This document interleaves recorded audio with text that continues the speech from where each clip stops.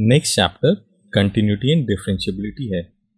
इस चैप्टर में हम इन सभी टॉपिक्स की स्टडी करेंगे। तो चलिए फ़र्स्ट टॉपिक कंटिन्यूटी से स्टार्ट करते हैं।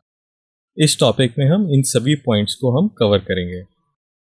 तो चलिए first point of recall of limit से स्टार्ट करते हैं। कक्षा 11 में लिमिट के बारे में आप सभी ने सीखा था कि लिमिट क्या होती है, उसे किस प्रकार रिप्रेजेंट करते हैं एल्जेब्रा ऑफ़ लिमिट्स क्या होता है तथा ट्रिग्नोमेट्रिक फ़ंक्शंस की लिमिट सीखी है। तो चलिए हम इस कॉन्सेप्ट के पर बेस एक क्वेश्चन सॉल्व करते हैं। इस क्वेश्चन में लिमिट फाइंड करनी है। तो मैं चाहूँगा कि आप यहाँ पर वीडियो को थ्री मिनट्स के लिए पॉज करें और इस क्वेश्चन को एक बार खुद से सॉल्व करने की कोशिश करें। फिर हम इसे डिस्कस करेंगे। आई होप आप सभी ने यह क्वेश्चन सॉल्व कर लिया होगा। तो चलिए अब हम इसे डिस्कस कर लेते हैं।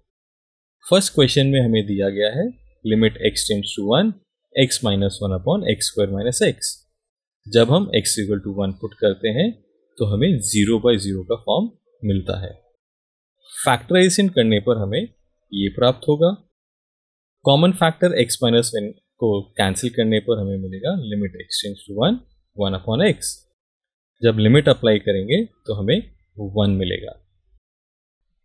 सेकेंड केस में हमें दिया गया है limit x tends to zero sine four x upon two x जब हम x is equal to zero put करते हैं तो हमें ज़ीरो बाई ज़ीरो का फॉर्म मिलता है। तो सिंप्लीफिकेशन द्वारा ट्रिग्नोमेट्रिक लिमिट्स में कन्वर्ट करने पर हमें मिलता है limit exchange two zero sine four x upon four x into two अब लिमिट अप्लाई करने पर we get one into two जो कि टू के इक्वल है।